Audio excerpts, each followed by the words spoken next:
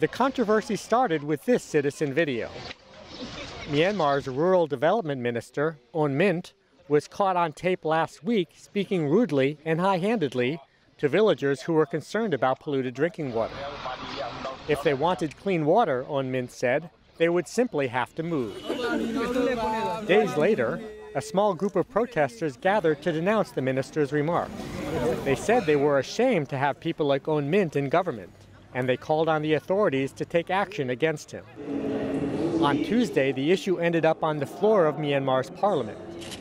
One opposition lawmaker said Ohn Myint's words were not appropriate for a government minister and harked back to the days of military dictatorship in Myanmar.